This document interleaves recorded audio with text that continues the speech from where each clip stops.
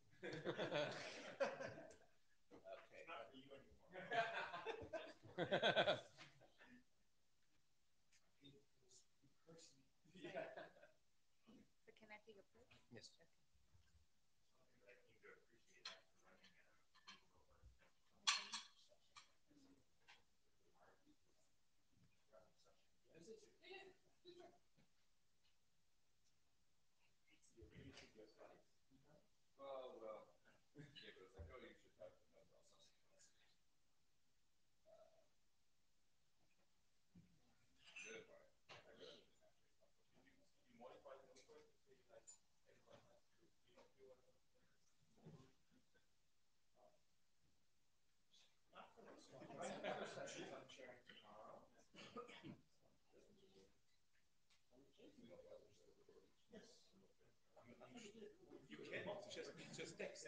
Yeah, yeah, yeah.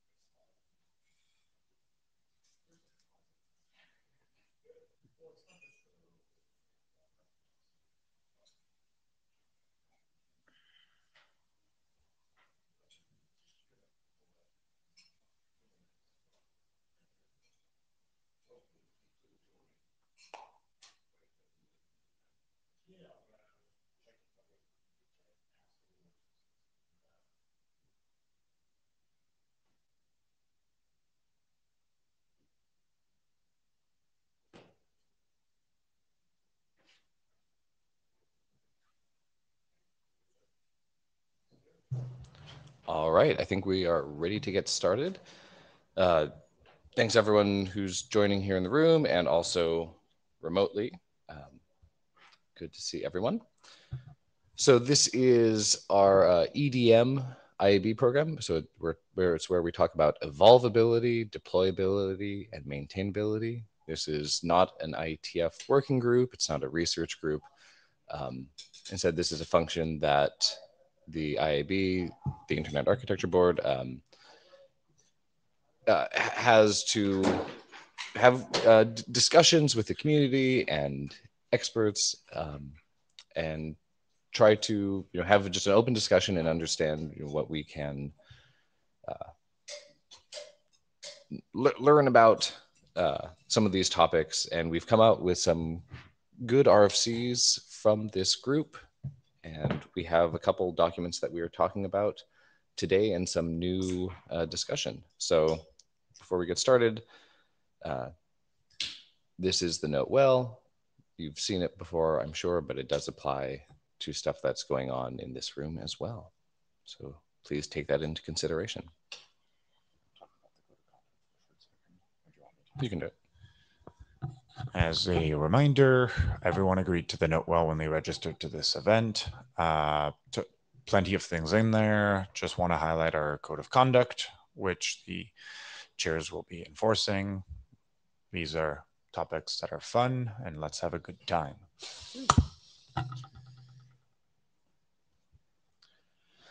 Okay. Um, so we don't have a lot of formal slides. This is going to be just a discussion, but there are a couple topics that we have. Um, since last time when we uh, had a virtual meeting, uh, Lucas very kindly wrote up a document on protocol greasing that uh, is based on kind of the, the, the, notes and outlines of things that we thought should be included in a document uh, that we are working on for this program.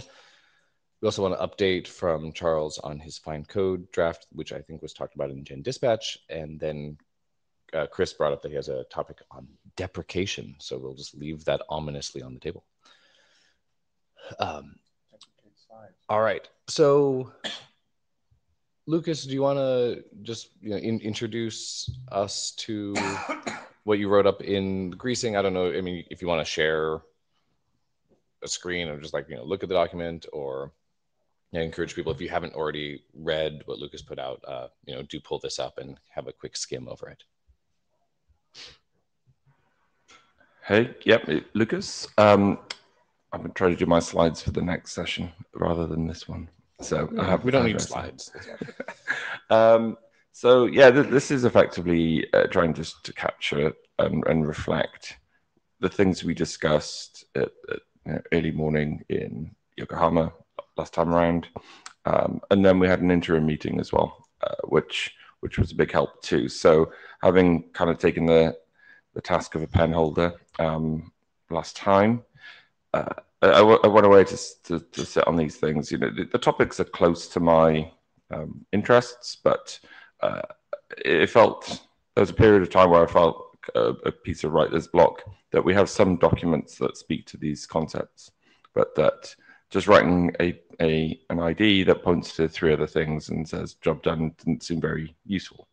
Well, that's where the, the interim meeting um, was great because actually identified the kind of gaps or the reframing or the the generalization of concepts that we would like to do. So um, I'm just trying to, uh, I don't know I, if I can share the screen. Um, multitask is very hard for me right now. Great. So. Yeah, feel free to request uh, that. I'm not even logged in. I apologize. That's fine. Um, I guess while we're doing that, uh, who, who's had a chance to read through that? Scanning right now. Love it. Love it. That is often how I read documents in meetings too. I am ashamed to say. I'll never admit.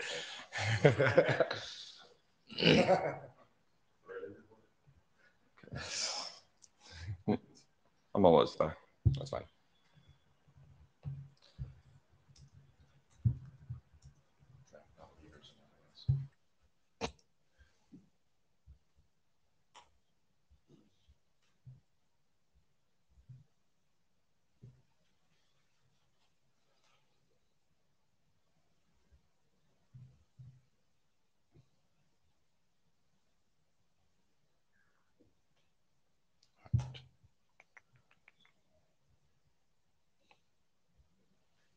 Working?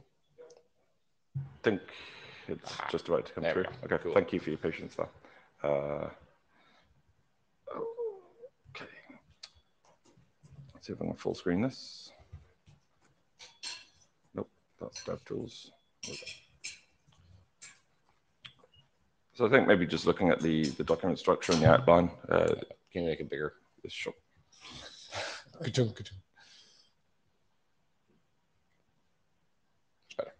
And I think the first thing for me is, you know, we came up with a, a funny acronym last time around, um, and trying to kind of backronize that into something, uh, naming it kind of just distracted me too. So I thought I'd just throw that away.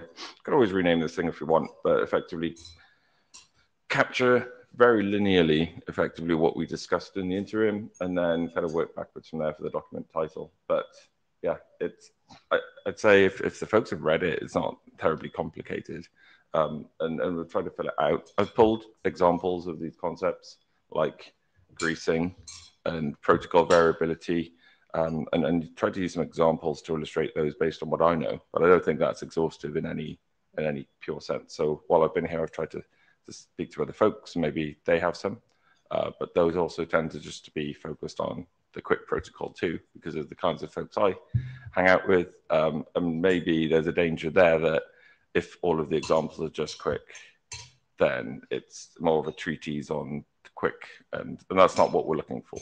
Uh, and maybe there's too many examples. Maybe the concepts we're talking about are, are illustrated with one, and that's fine. We, and we have examples of this, say, with other IAB documents I'm familiar with that maybe just use one example based on HTTP to, to try and discuss this stuff. So that's that'd be the kind of input I'm looking for. How much is too much?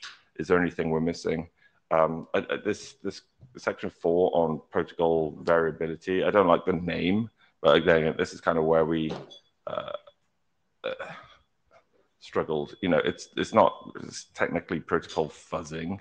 No, it's not those concepts of trying to purposefully just iterate with random data, looking for, for hard edges, but to you know exercise the protocol. And I think this there was even a bug report this week that maybe um, the uh, in in the the quiche implementation of QUIC that um, I work to, we have the idea of grease, grease frames in HTTP3 that are ignored, and we do, and that works, and that has worked for a while. But that the sequencing of those grease frames within the concept of a HTTP message um, things might break it, even though we thought we had good coverage. And so again, that's a sequencing and variability thing. And it could be actually that that is banned, even though you should do something.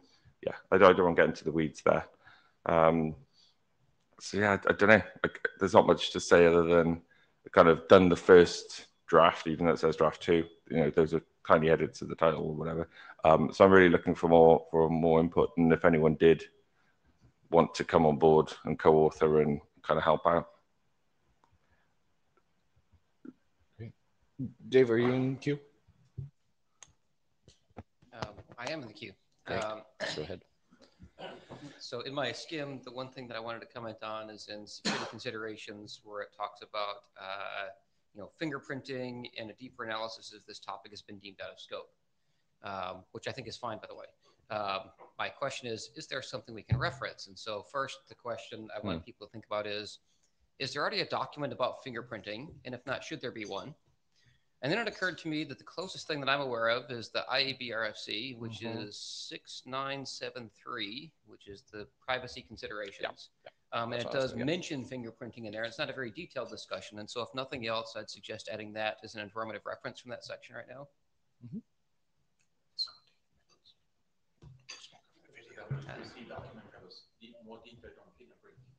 Uh, on fingerprinting in general, I'm, I'm, I'm saying not for a particular protocol or whatever, but just the concept of fingerprinting and the, as a general attack stuff. And so 6973 is the only one that I'm aware of that touches on it. And there's only Same. at most two paragraphs in there, right? Maybe less, right? Um, but I at least add that as an informative reference. Uh, yeah, thank, thanks for the reminder for that. Um, that was kind of based on my my read of the room last time around. And I, Chris Wood, I, I, I can't recall if you were not present in that meeting, and we kind of were trading notes about what to write about. And I'd said that, and your your kind of uh, ears peaked up, like, well, well, why not? So I don't know, Chris, if if maybe you have any anything to add there? Um, happy to try to propose text to flush this out. Okay, I guess the, the question for me is is is is this the kind of you know how much how much do we want to say here without distracting the whole discussion? There's value in in these concepts and ideas, and concerns about fingerprinting is definitely valid, but uh, you know there's only so much time and, and, and focus we can do. I, I don't want this to turn into like the, the wrong thing. Yeah, we can finesse it and, and find the right balance. I'm not too worried about that. Okay, cool. Sounds good. All right, uh, Corey. Hi. Um, most of the words we have appear to relate to QUIC, which is in an encrypted envelope. So, do we want to say anything about protocols which are not encrypted because then the greasing is very visible? And do we have examples of that? Because it's probably equally viable, but I'm not sure where to go in that. So, it's just throwing it out there as a question. Do we know of examples that are not encrypted? Do we know of examples that use greasing? I don't think Because you could talk about, you know, greasing V6 extension header space or something like that. So, Yeah, which we don't do. And maybe we should have done, Not- but yes. That's my point exactly, right? If you say, well, here's an example of where we didn't do it, where we could have, and here's what happened as a result, right? Even that's a learning, right? It's a good going round. But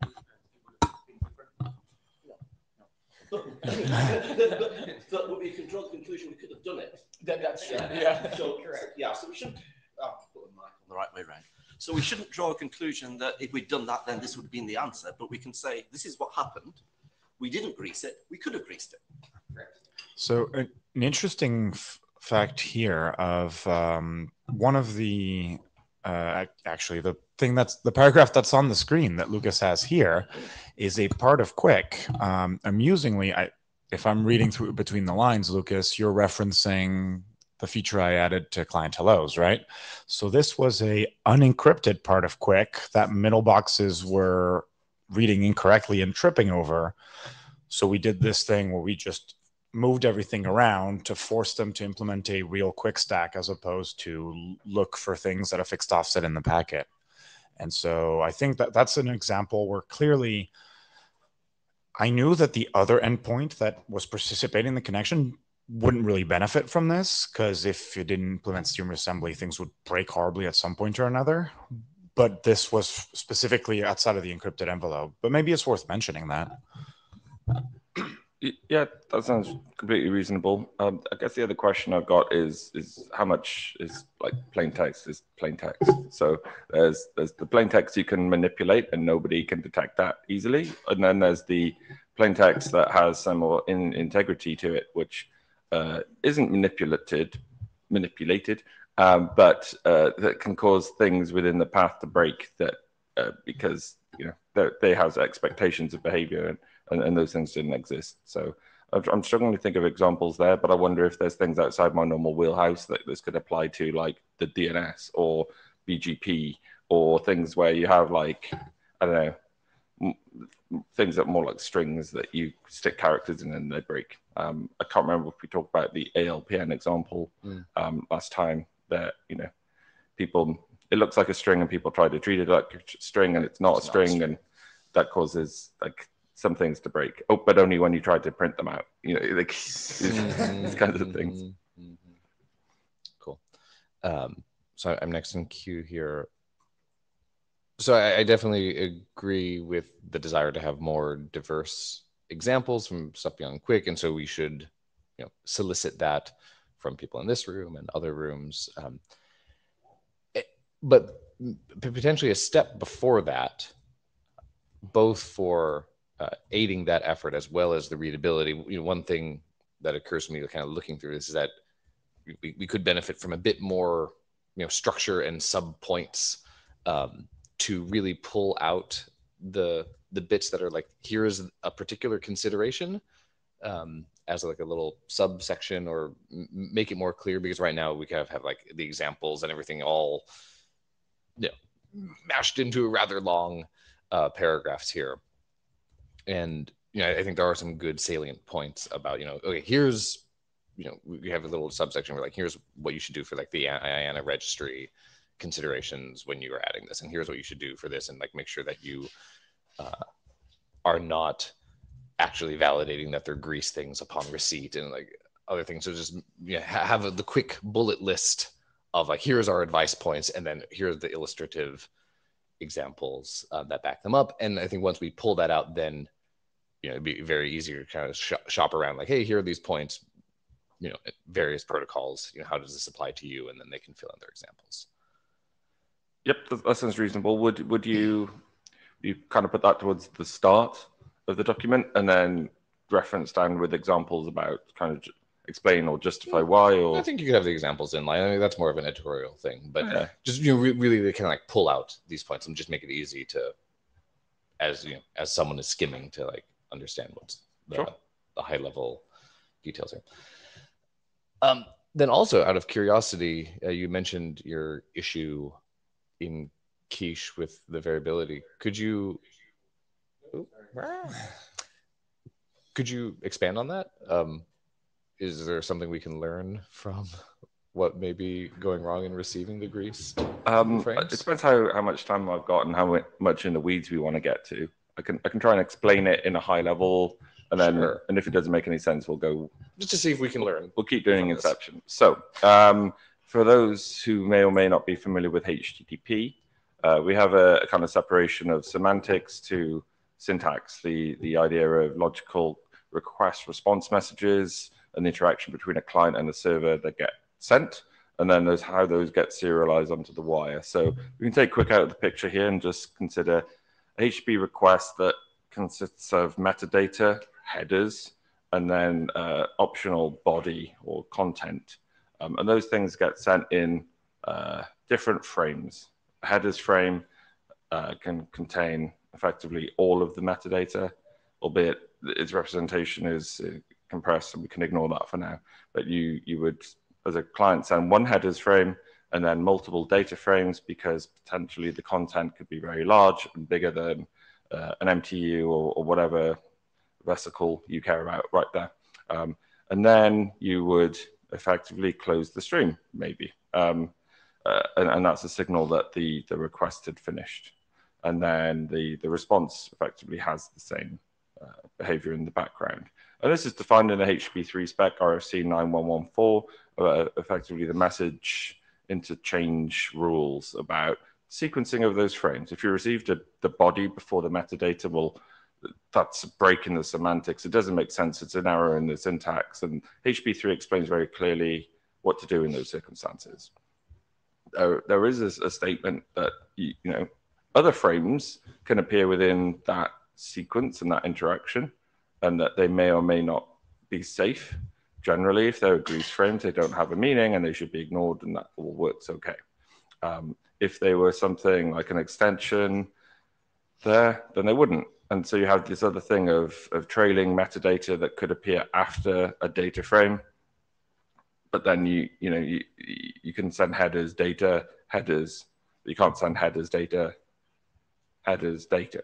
It, you, you you just get into this fairly simple state machine. And so, you know, what you end up with there is like people would need to send grease in some cases and, and not others. Usually it's easier to just send it at the start rather than the tail. But this is a kind of variability aspect that maybe greasing should go in, in between here and there. But it, it's kind of annoying if you have, as a receiver, you know, like you want to pause until the end of the stream and expect like just to read all of the data out and done and go. Having to kind of hang around while somebody sends you this grease frame while you wait for the, the finish is, is annoying, but it's completely de- legit. Mhm. And so uh, maybe that's a reason why people don't do it because it's annoying. It's not because the protocol can't, but they just didn't think to do it. Um, but uh, in, in this case, we think that there is a client that's trying that and, and it's fine, we think. But then I need to go back to the RFC and make sure that that sequence is actually correct. And sometimes those things are, are a bit of a, uh, not disagreement, but a, it, it gets so complicated. You're probably not uh, following along because I'm rambling. And then he's got "Ah, it's- whatever. Um, I'll just move on and I'll do a more interesting thing. Uh, but for me, this is like something that would be really easy to test, right? And just write some kind of testing uh, environment. We did well with the QUIC interop runner during um, development of the QUIC RFCs, but the HB3 tests there, I think there's one compared to, I don't know, Martin, if you can remember how many tests are in currently in the interop runner for QUIC stuff. Um, 20. So, you know, um, there's more work we do there, but QUIC is a transport protocol. It's not just HB3. So, whose responsibility should that be? The HB working group? Well, we're busy there too. So, we've talked um, uh, in in other meetings in that realm about wanting to do better testing, um, coming up with corpus of not you know fuzz data, but corpus of test cases because that, that's that's the annoying thing. Developing the test case is time consuming. Running the test case or the developing the kind of test runners and infrastructure is is generally a lot easier. And there's something there most implementations have. And what can we do? Who who can kind of help those efforts? So uh, it's not this problem isn't like completely brand new and unexpected, but um, I haven't. I just didn't want to spend infinite cycles thinking of every permutation of a thing that could possibly maybe happen. And and guess what? Somebody might then invent an extension frame that has some additional sequencing rules, and you have to go and modulate all of the other stuff you've already done, and kind of keep creating these multi-dimensional problems. I don't think that is a real example, but we do have these things. We're looking at like uh, settings and and do settings advertise? So HB2 has these settings that, that get exchanged at the start of the connection that give uh, properties of the connection itself, and they can extend the, the, the, behavior in, in very breaking ways, and the peers need to agree on that. And then if if they do, but then you don't understand the setting and you ignore it, well, uh, yeah, I just this this stuff keeps me awake at night. And uh, maybe some of that can come in here and be done in a salient bullet point. and maybe maybe it can't. And what we can do is try and create a, a I don't want to say it, but like a taxonomy of these kinds of problems. And, and maybe we need to capture in a bullet point that actually we don't have a recommendation here. I, I, you know, think of that and how to solve it best within your domain mm-hmm. of, of expertise or skill. Dave, do you want to jump in? My comments on a different topic. I've done the same one. Um, yeah, I was just going to respond to that. Respond yeah, I, I, was just going to say because you know, I was trying to figure, you know, what can we learn from this? Is there something useful to put in here?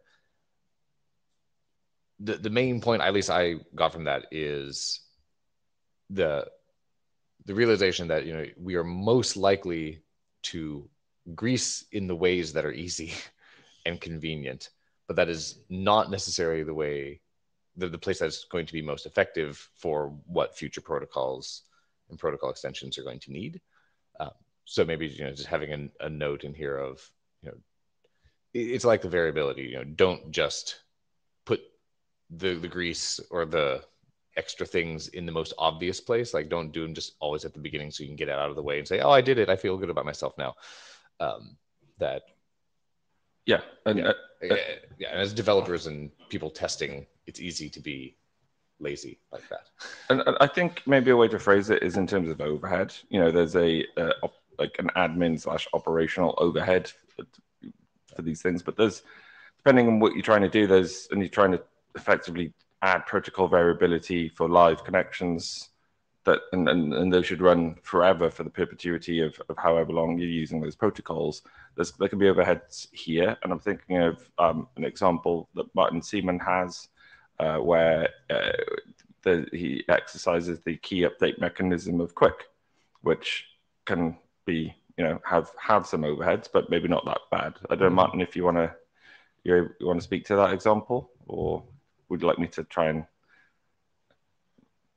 give explain it in a bad way? So key updates is a, kind of obscure feature in the in the uh, QUIC um, QUIC RFC um, saying that after sending a, a, certain number of packets, and this number is, is pretty high, so you, you won't hit it um, under, under a lot of circumstances. Um, you need to update your keys, otherwise um, you risk um, leaking some some some bits about your key. Um, and since this is not hit by the vast majority of connections, um, some implementations decided to uh, implement this feature later and to, to ship QUIC first. And I can't really blame them for that. Um, other implementations, um, like my own stack, were like very aggressive initiating this key update because uh, while I saw this in the spec, I was like, okay, this is this is not getting exercised a lot. If I if I don't if I don't force it, um, there will probably be bugs um, either in my implementation or in the other implementation. So I, I, I initiated, initiated the first key update after like a, a thousand packets or something, uh, like really early in the connection. Um, and then I, started getting the bug reports like, oh, your stack fails with like um, this this big CDN's um, um, uh, QUIC implementation. Can, can, can, you fix your stack? And um, I've, I've, I've had this discussion a lot of times because a lot of people ran into this issue and, and it got it got really annoying. But then you know that comes to the how how soon within a connection would you exercise the thing, and then you know how once you do how often then should you keep doing it? Is it enough to try one key update in the connection uh, and do that on the first packet, or to do it at the tail end or keep keep going. And I think you had you had an approach for for that like now, say, of like do it after 100 packets, but don't do it every 100 packets. Do it then maybe once more it, within some realistic, uh, I know, stochastic analysis of how long connections last versus where they're running and, etc. cetera, et cetera. Yeah, the, the problem there was that that my stack was really not the best way to, to force the ecosystem to um, to implement this change. Like this this had gone would have gone very differently had Chrome decided to to um, um, to do the key update after 100 packets, right? Then no no CDN would have been in a position to say like, oh, we don't care about interop with Chrome. Mm-hmm. So and so I wonder if there's there's something in that that the effectiveness of these methods depend upon the uh, the market and how, how, people respond to failures of those kinds. Yes, we all want to do everything correctly 100% of the time, but uh, in, a, in, a, consistency of priorities where we don't have infinite effort. Um, and then there's non-technical things that uh, are at play there. Yep, definitely. Yeah, we can take note of that. All right, Dave, let's go over to you. Switch topics. Okay. Um, so uh, different topic as I was skimming, and then I went to RFC 9170 3.3, the other uh, EDM document that has the greasing section. Um, and I was thinking about the issue of uh, what happens if greased values don't make it all the way through, because this is again the case where you're not doing encrypted end to end, like V6 extension headers and so on. So I was still thinking through that, right? Um, and the and try to decide is there actually a good discussion? And the conclusion that I have is no, but there should be a good discussion in this one. There is a discussion. The closest thing that I could find is the statement in 9170 that says uh, this and the rest of the stuff that's talking about depends largely on the assumption that the difficulty of, of implementing the extension mechanism correctly is as easier easier than implementing code to identify and filter out reserved values. Okay. Well, lots of middle boxes have whitelists, right? You think about, you know, ICMP, Eric, you know, ICMP messages and so on says, well, they could implement all extensions just by dropping them, right? If you're a middle box and it's, and it's not encrypted end to end. And so I'm wondering if there should actually be some section that discusses some considerations about such things. And so here's some examples of questions that one might answer or at least raise, okay? Um, one is, um, should the receiver, uh, meaning the, the correct receiver, right, detect and log or whatever else the lack of receiving greasing messages. Okay, meaning obviously some middle box is filtering them out. Is that something that's good to detect and log, or what would you do with them? Another interesting question, protocol design, is if you're building an end-to-end protocol, um, should you build in a greasing failure detection mechanism? So, for example, could you you can imagine a protocol that says I'm going to uh, have a timeout and the connection will go down if I don't act the fact that it's being greased of you know 10 minutes or whatever it is, some long period or whatever. Is that a good protocol design or a bad protocol design? That's a question. Okay. having a discussion of such things would actually help implementers and help protocol designers, I think, especially when you have this case of non-encrypted end-to-end cases like, you know, the extension header example. Thank you. That's a good point.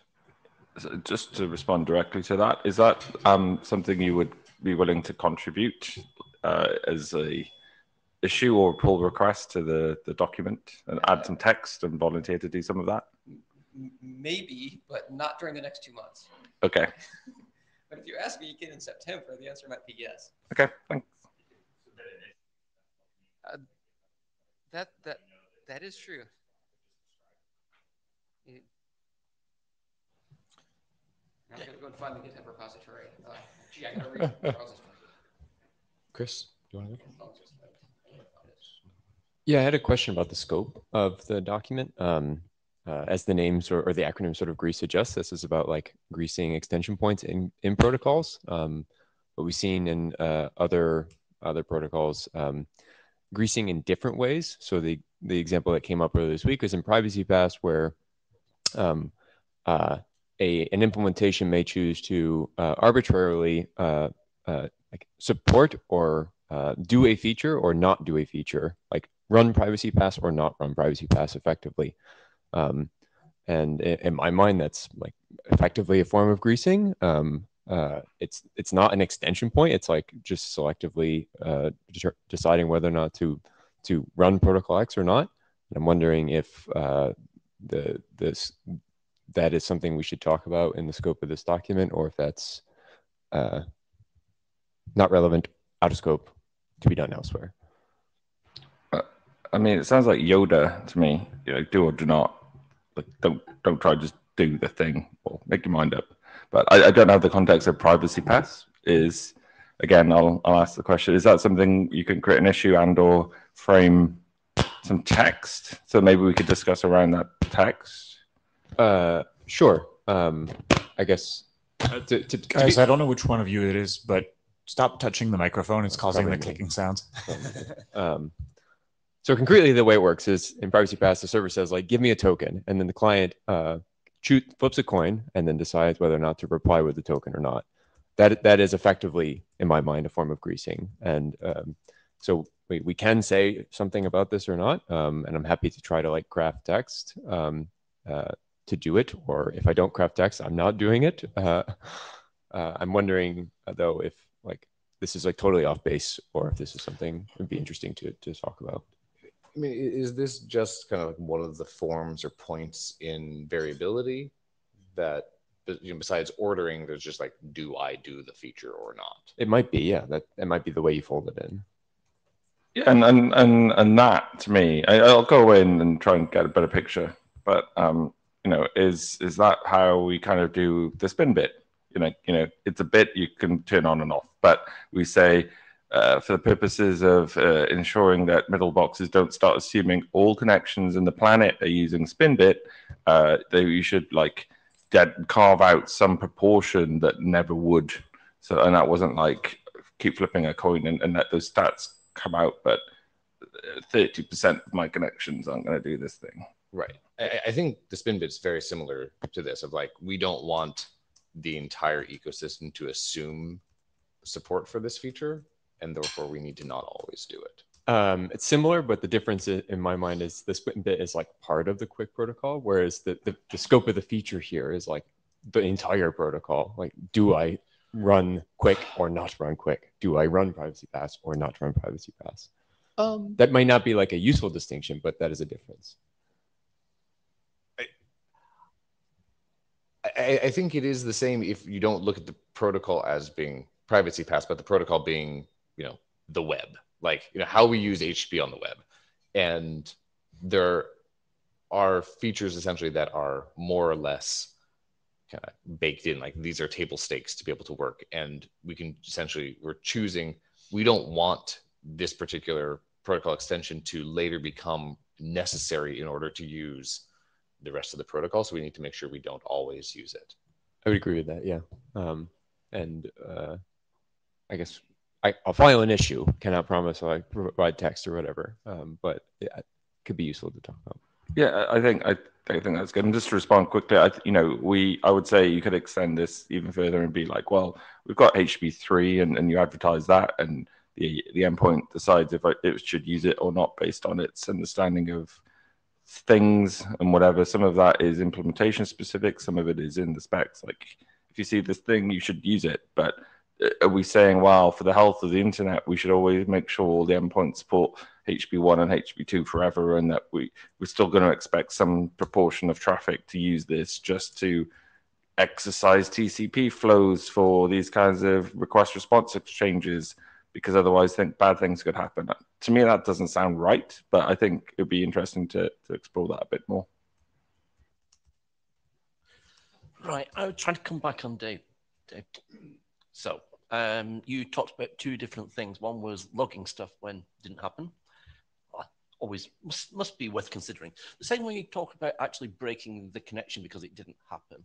And then I thought about which layer are we at? If we set multiple layers, this becomes a little bit hard to manage. If a lot of the discussion around the room was about like things high up that actually had connectivity, and if we do this at network layer and shim layers in between, then this becomes a rather difficult thing or different thing. I just wondered what the thoughts were on that. Um, the, the thought is that it would be good to whatever the discussion is to say something in the document, uh, but that's the meta point.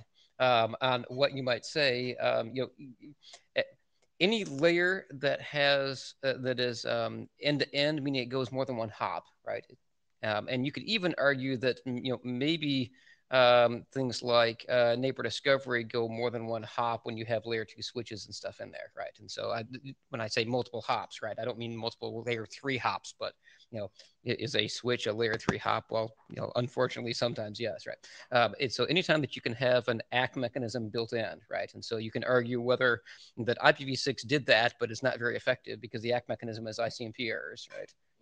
Um, so could you uh, so it tried to, right? It may not be very effective, but the point is, anytime that you have an end-to-end, uh, the way to send an end-to-end message, not necessarily a session, but if you have a way to send get a message through, then saying lack of receiving such of a message might be cause for saying there is a problem in the middle, and just pretend. Let's pretend hypothetically that if we, that when IPv6 was first designed, it said if you didn't get an ICMP ACK back, that uh, you had to reroute would we end up with a different ecosystem of middle boxes? You'd end up with different behavior, right? Would you end up with a different problem? I don't know. But I'm saying you could imagine different ways to design protocols, right, at different layers, is my point. So, and, and whether that's good or bad, I'm just saying we should discuss to say, well, it might be good. Here's some considerations or things to keep in mind.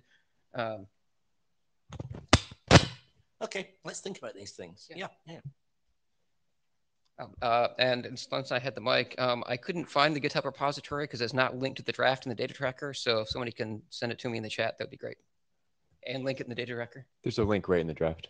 In the draft itself. Okay, yeah. Apparently I didn't read every word in the, the draft, right?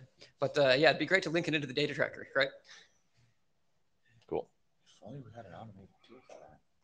That would be great. Cool. All right. Um, I think that was a pretty good coverage. Anything else anyone wants to say on this, or shall we move on to our next items? All right. Yeah, thanks everyone for jumping in. This was a really good conversation. Uh, pleased for everyone who had these good ideas. The chairs will like try to loop back, but if you can never file an issue in your own words to describe them, I think that'll help Lucas out quite a bit.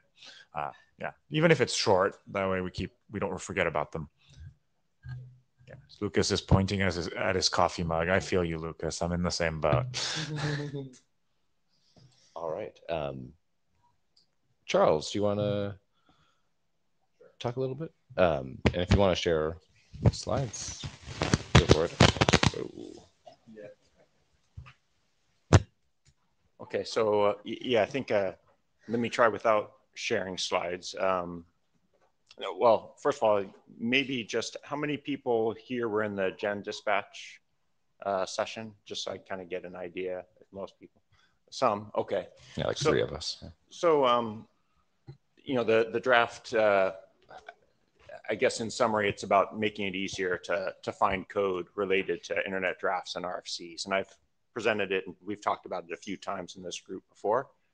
And uh, the thought was, well, okay, it seems to be going pretty well, but what to do next in terms of uh, progressing it or, or uh, figuring out an answer to that question? Because we decided it wasn't necessarily this within the scope of this group or the IAB um, to work on it. So I, I, did bring it into Gen Dispatch. Um, for a number of reasons, I feel like I didn't maybe didn't represent it real well because I think I was concerned about the the larger discussion about uh, AD uh, workloads and how to reduce that. And I, I just got the sense we were running out of time and everyone really wanted to focus on that. So um, I tried to go quickly. There was a, uh, didn't really get a good resolution out of that. I'd say the feedback I, I recall from the room was mostly um, positive in terms of the approach, but that um, the only real um, uh, suggestion as to how to dispatch uh, was along the lines of, well, maybe we don't need anything. We're actually done.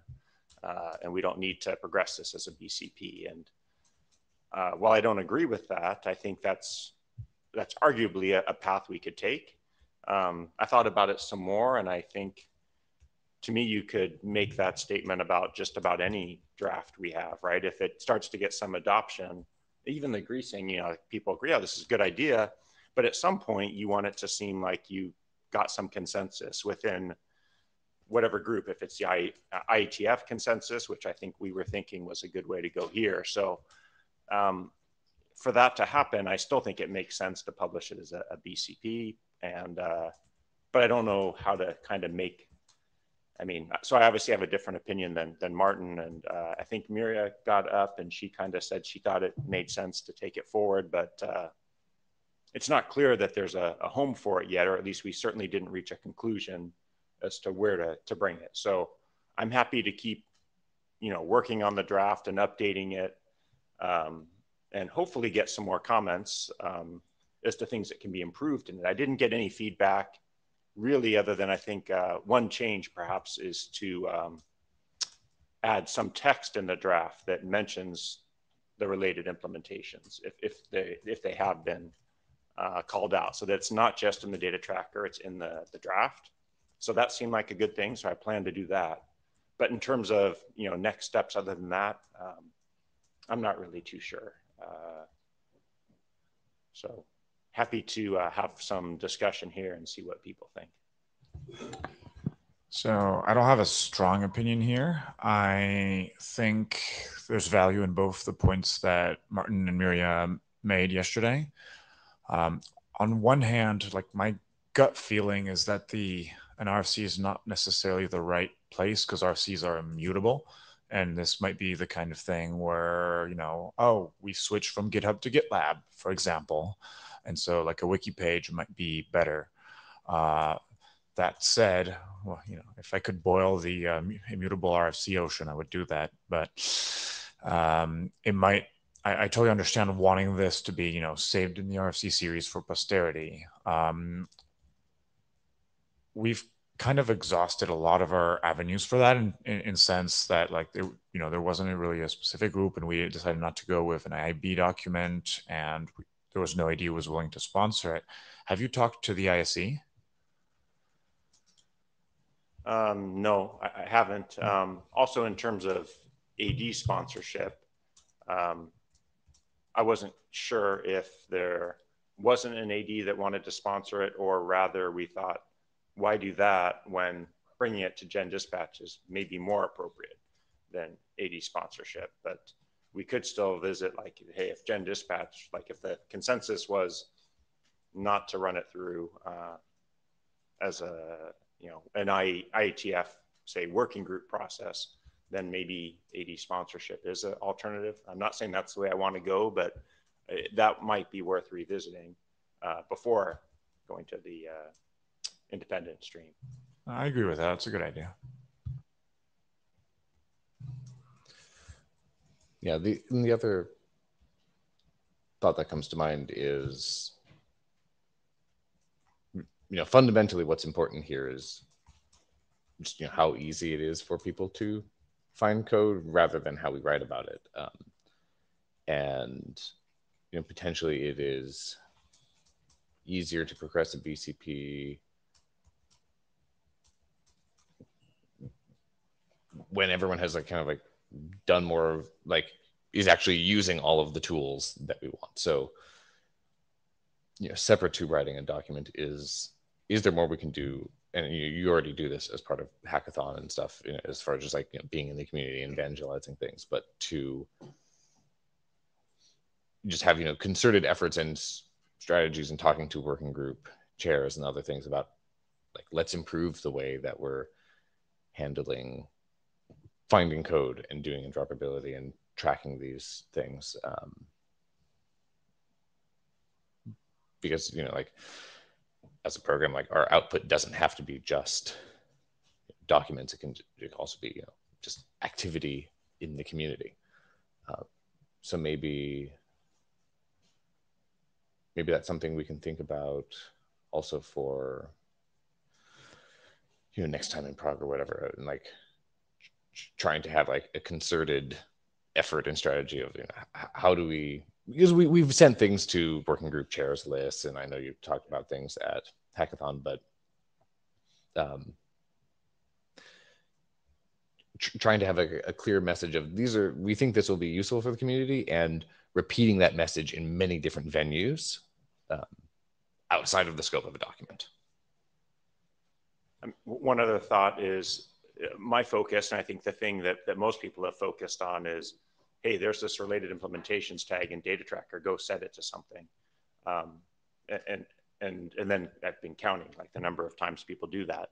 So that's kind of the, the main thing everyone thinks of. There's some other stuff in there about, you know, um, setting up a GitHub repo and putting things in a README. And I don't know how much people are really thinking about that and doing that. And if what is there if they if there's um, more uh, more precision or that, that would be helpful as to how to do it or if actually some of that stuff is overkill and, and not needed and it's just like you know it's really just the related implementations tag. So thinking about that is also the other thing. Is is there a, a larger problem where we want to have a little bit more guidance on the whole end-to-end thing? Or if it's really just related implementations then let's just figure maybe there's a way to document that feature in the data tracker and point people to it. So I, I, tend to think there's some value in kind of the larger scope of, you know, the GitHub part, the README, and and then having a, a process through this rather than lots of different ways of doing it. Um, but that that was kind of my original goal with with writing this. So I think that that to me is how we feel about that kind of determines whether it's a BCP or it's just a feature of the data tracker.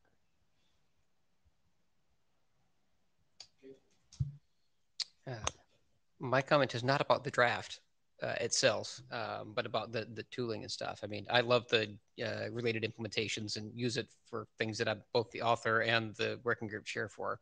Um, I know it's been discussed a couple times in like the working group chair lunch and so on. Uh, we keep uh, uh, giving visibility to it. But I don't know how widely used it is across other working groups.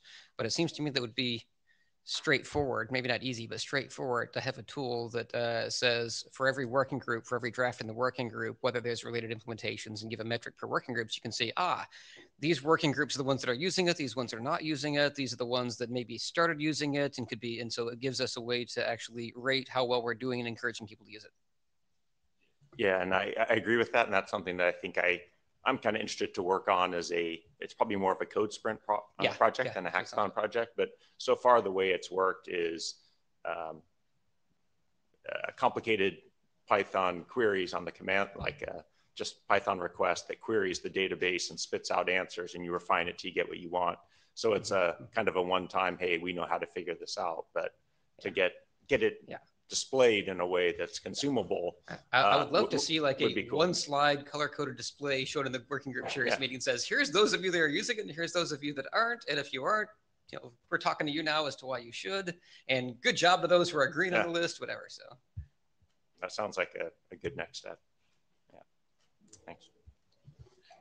So Charles, a very quick positive feedback. Um, we had um, a draft I was discussing with people and we discovered um, that there was a dissector in Wireshark for, for it, which is a useful tool. It's not an implementation, but it's a useful tool. In fact, so useful that when we got to the final stage of the draft, we discovered that the dissector was what everyone had tested against, and the IANA registry had now had to be updated to reflect what people had really been using because they used what was in Wireshark, which is the one we discussed earlier. So having a point, a tool uh, for dissecting or viewing or decoding or whatever it is, is such a good thing that maybe we should separately emphasize that to the implementation itself. That is a good point in the draft. Yeah. Yeah, um, I, I tried to, you know, make it clear that, you know, those types of things are important too, and and are examples of related implementations. That doesn't have to be so, uh, but it, it can be made more strong, more you know, called out in greater detail if, if that would be helpful. But yeah, totally agree with you.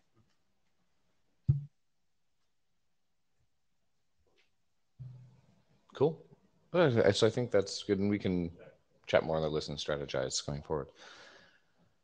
Okay, um, Chris, did you want to introduce the topic that you wanted to bring up? Yeah. So um, deprecation. Um, uh, this is something that's talk, been talked about in the TLS working group quite a lot on and off over time. Um, what is the right time to deprecate like algorithms, uh, versions of the protocol? Um, and each time it comes up, we kind of seem to rehash similar debates over and over again. Um, you know, uh, what is the what is the right amount of deployment for a particular protocol that's necessary to turn it off? How do we communicate um, you know, the, the, deprecation in a way that allows people to transition meaningfully without breaking things? Um, I anticipate, or I imagine, um, that these topics uh, or these problems are not unique to the TLS working group. Um, other protocols develop, or other working groups develop protocols that may have to be turned off or sunsetted in, in you know various ways and for various reasons. Maybe like the code to maintain old versions is too complex. Maybe there's our security vulnerabilities or whatever that force us to deprecate things. Um, uh, so I'd like to propose, um, uh, at least for this this particular group, um, seems relevant to this to, to the maintenance of things that we do in the internet um, and the protocols themselves. Uh, that maybe we try to uh, uh, put together some general principles for how you go about deprecating protocols in practice. Um, what are the factors that motivate deprecation? Um, what are you know some best practices to follow for deprecating protocols? How you communicate them? Um, uh, how, how, you communicate those particular things? Um, uh, what are you know, reasonable like what what success criteria looks like I, some things might be like specific to a particular setting like web browsers and usage of tls um, but i i'm i'm sure that there's some like general things we can extract from these conversations and you know document them way that they would be um, useful and uh, conversations outside of tls um, um, this is a bit selfish in a way because I, I kind of uh, it'd be nice to be able to just point to something in TLS working group and say like we've had this conversation. Here's some advice to follow. Go do that. Um, uh, but if it's useful elsewhere, that would be great as well. So I'm curious to hear what people think. Um, I started writing some text on it. Uh, it is not yet in a zero zero draft, but um, if there's interest, I can try to push it forward and would welcome contributions from other people. That's it. That's um, the pitch. Thanks. No, that sounds interesting. I have a clarifying question. Um, when you say deprecate a protocol, are you saying um, implementations like no longer speaking the protocol or are you saying the IETF marking the protocol as obsolete or historic? Great question. I think both. Um, yeah, like communication, uh, it, it, and like marking the protocol as obsolete in, in an IETF publication or whatever, or like you know various vendors getting together and saying like we consider this thing deprecated and we're going to turn it off. Um, that's one aspect of it, but then actually shutting the thing off in implementations is another aspect of deprecation. Um, so I would I would consider it to be both. Thanks. And uh, I'll, I'll, maybe even add a third one, which is very related. So at IETF, um, I remember we had one time where someone was presenting about marking IPv4 as deprecated and obsolete. And uh, we Dan, you beat me to it. I'm in the queue. and we kind of laughed about it in the room where I was telling, well, that's cute and all, but like who cares? Like my laptop is not going to stop, you know, sending DHCP requests because the IETF Ivory Tower said so. Uh, and I think, you know, discussing that as well, but the way the conversation turned is, which is a very practical and useful one, was at some point we say we no longer the IETF no longer maintains a protocol, which actually helps put it in scope here, and no longer works on let's say extensions to this. So IPv4 is not at that state yet. We still need to maintain DHCP, for example, but I think you can safely say that in the TLS working group, there are no extensions that are specific to TLS 1.0. Um, In, in fact, we just adopted a, a document that says that TLS 1.2 is frozen. We are no longer going to continue working on these things. So everything is 1.3 moving forward. So yes, I would agree with everything you just said. yeah, so I think this is an interesting topic, and I'm uh, I'm interested in contributing. Great, thanks. But I'm- I'm glad that you brought up the IPv4 example because I think it's a Q. Yeah.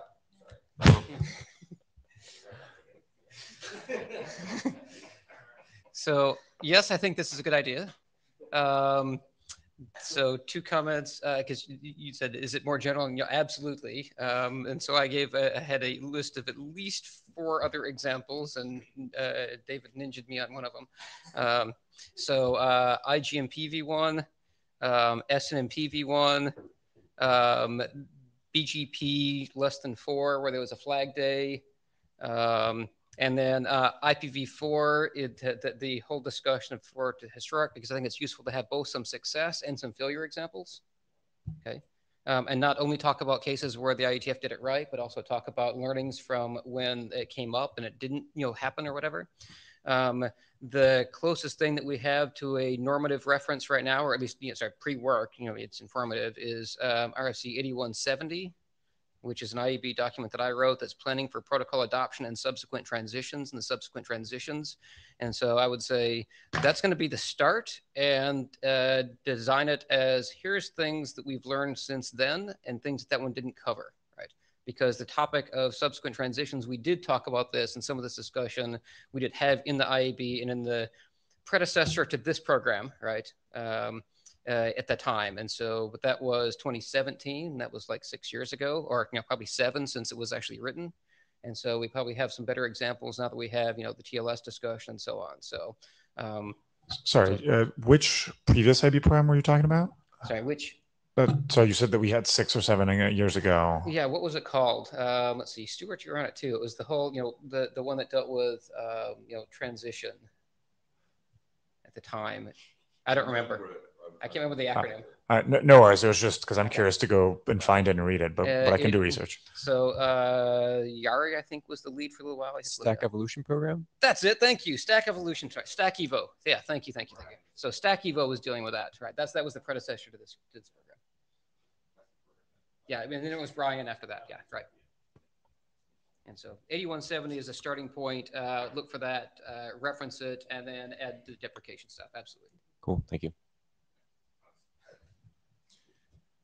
Yep. Um, I think I think it's, it's sort of like the the focus on standardization, like what you want to discontinue working, is is one aspect over which uh, the IETF obviously has a lot of control over uh, on what it, what it wants to spend its time on. At least uh, in in theory, in practice, of course, it's a separate story uh, on whether that really works that well. Um, but when it comes to telling don't use impl- certain implementations of protocols, I think it gets a little bit tricky. Um, I understand when it, there are some security vulnerabilities uh, that point out that you shouldn't be using it. Um, but then in the TLS case with 1.2, 1.3, it's merely a preference, right? Um, it's it's one dot you can use 1.2 in a in a totally fine way, uh, completely secure. And specifically, when I think about IoT usage, um, like some of the the stuff is in used in industrial spaces where you have lifetimes that um, like are crazy long, and so where it's not so easy to just swap out things like uh, in a web browser. And so there's often the the the TLS community in particular, and, and some other communities, they have very fast moving life cycles, uh, but they tend to forget that there are other industries that are operate very differently, where it's more difficult to swap out stuff, maybe even requires literally equipment changes. And so I think there's, and, and that's a, in some sense compared to the web and also to the attention in the IETF, it's a niche, but it's, it's not irrelevant. So I, I, whatever the, the recommendations say, they may actually want to take that into account as well. Like in this case, deprecating 1.2 work and implementations kind of implicitly means also DTLS 1.2, presumably. Yes. And there's one one implementation, one commercial implementation of DTLS 1.3 for embedded devices. And that's a little rough, like it was only published last year after all. But I, agree that we um, uh, should not sort of project the, the browser perspective on uh, like uh, what this document purports to uh, uh, say. Um, and I don't really, I don't really see it as you know describing in, in any normative way, like thou must uh, you know turn off things if there's a security vulnerability or whatever. Rather, I kind of view it closer to the style that um, Lucas's draft uh, uses, which is like here are some considerations that might be relevant for you know deprecating things. Um, one of them being like the life cycle and lifetime of implementations and the difficulty or lack thereof of updating things. So I, I would I think those things are totally in scope, and and and if we're to do this, we should be inclusive of um, those very real and, and pragmatic issues that we have to deal with.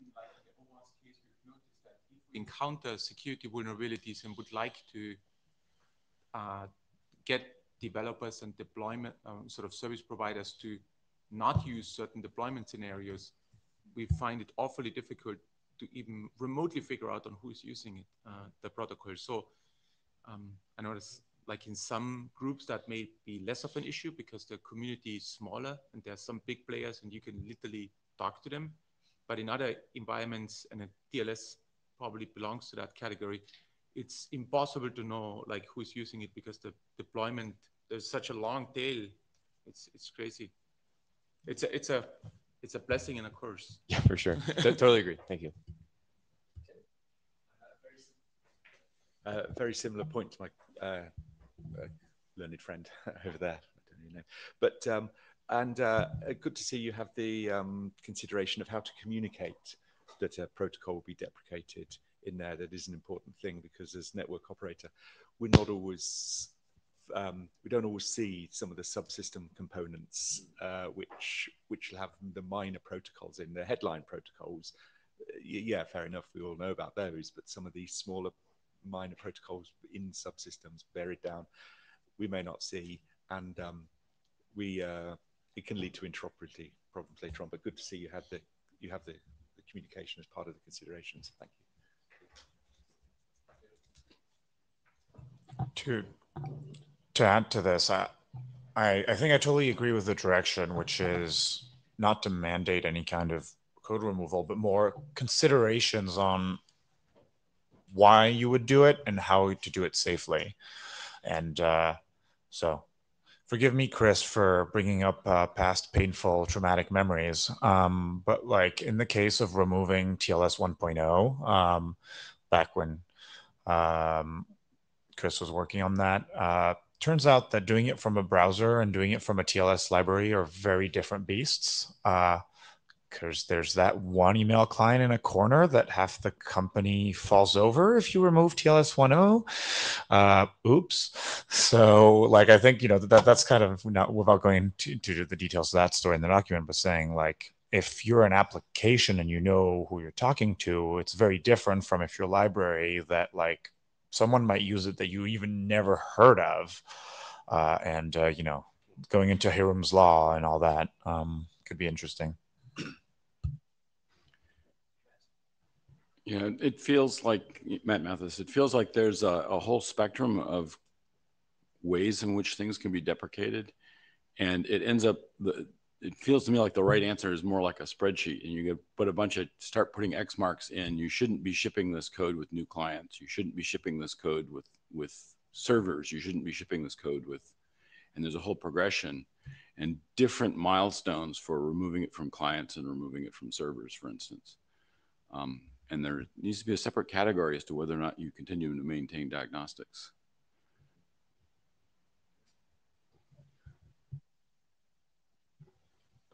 Alistair Woodman plus one for what Matt just said, but uh, I wanted to take a slight opposite opinion to, to Hannes's point. Uh, we, to a certain extent, folks are looking to the IETF to be prescriptive and descriptive about things. The EU at the moment is worried about cybersecurity and other types of things. And I think one of the problems that Hannes was referring to with embedded devices, which are very difficult to change out, people need to understand the total life cycle cost of their small device and the fact that they're making it cheap at this particular moment in time but they're assuming it's going to stay in operation for 30 years when the cryptographic capabilities of other devices out there and their abilities to crack those things that, that needs to somehow be forced into the public domain so that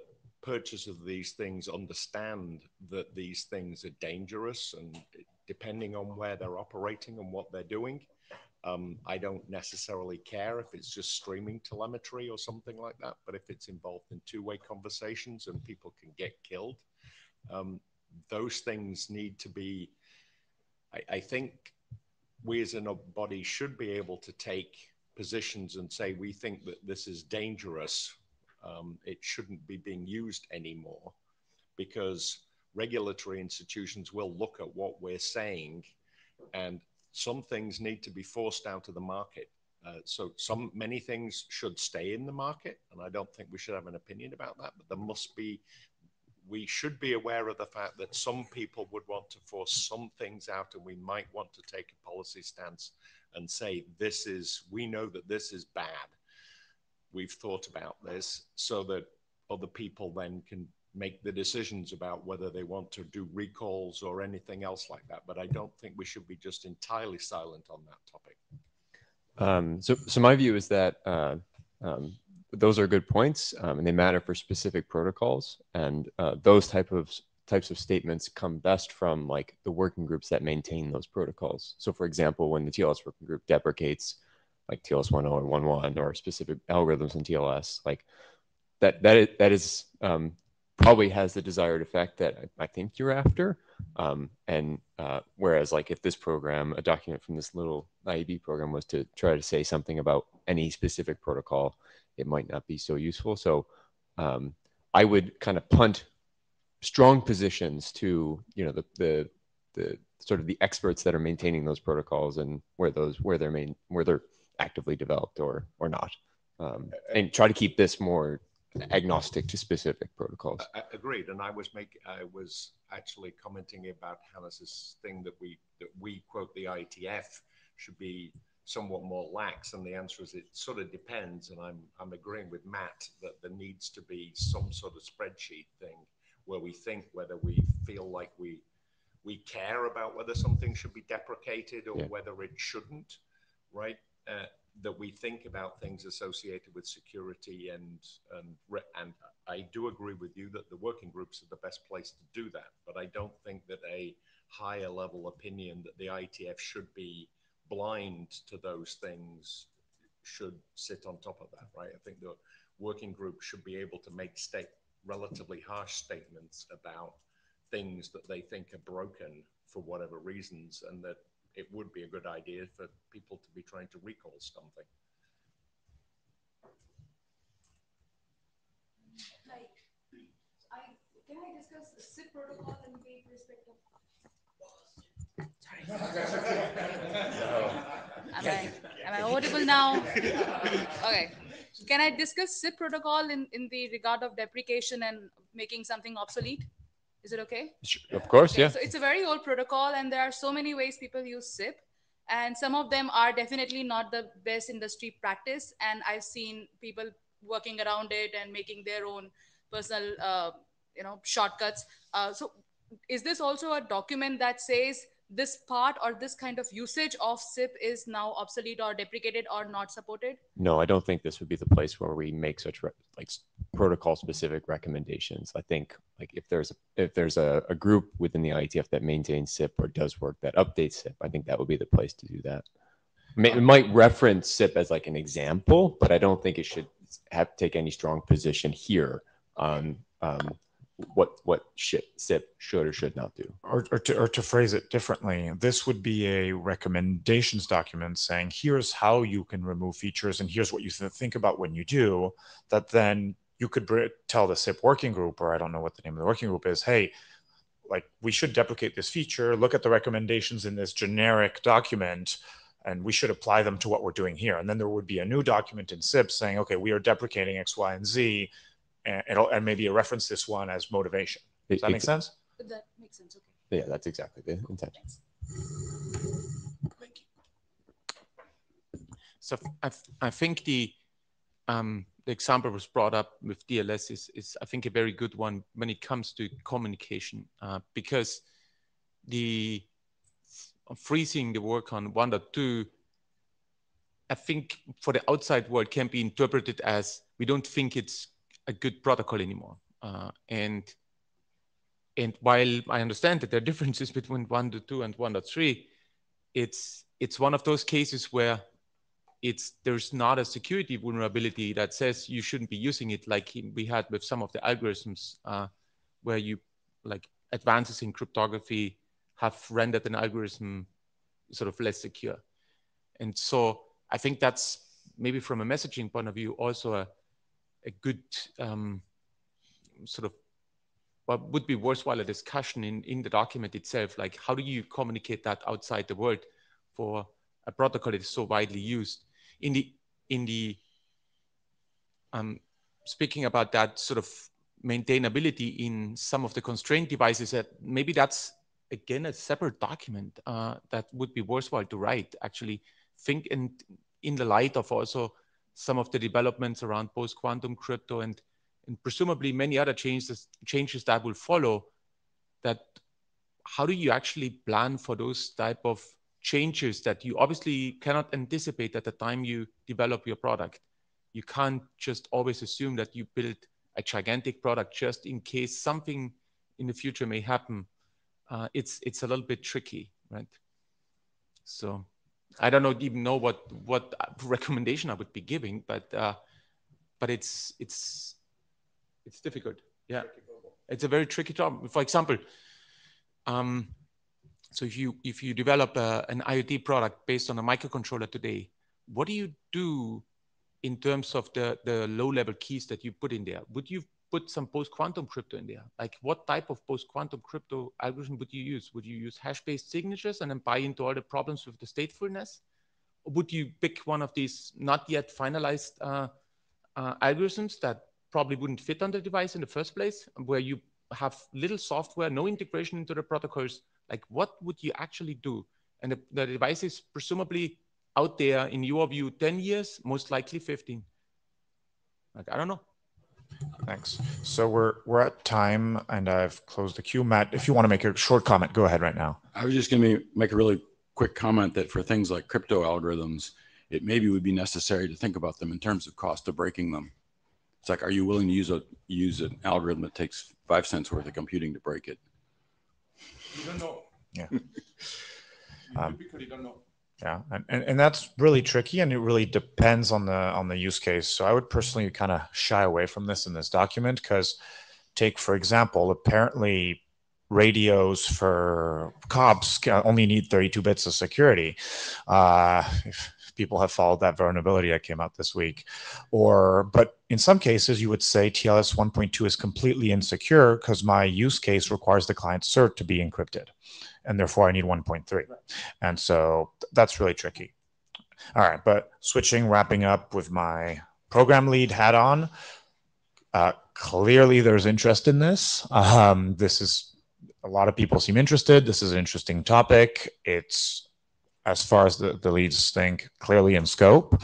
So, in terms of next step, Chris, are you volunteering to write a dash zero zero? Yeah, sure, I can do that. Awesome, thanks. And send it to the list. And I'm sure a lot of us will be very intrigued to read it and file issues or even provide text. So thanks everyone for the discussion. Thanks for yet another good EDM meeting. Uh, listen to good music and see you at the on the list.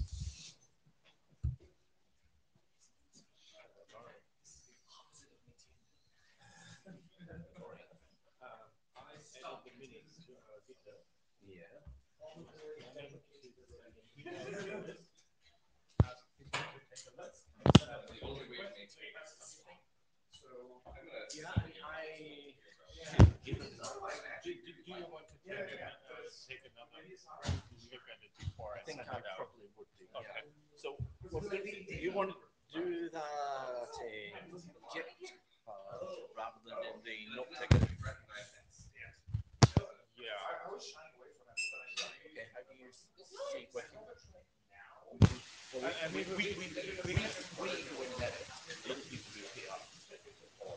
They, they go in there. Yeah, yeah, yeah. so it, it, if if somebody's like, We, we just merge it, yeah.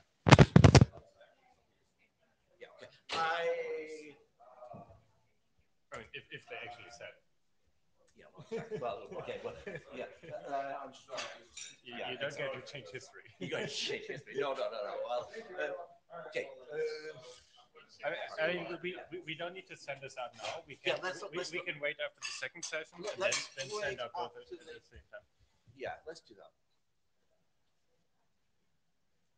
I'm keen. I will. The only people who get to change history is us about what we see the consensus was. Yeah. yeah, yeah, right. That, and I'm just a little bit worried about this, that particular meeting. I'm just worried about that particular meeting that we actually phrased those oh, calls we did on the room correctly.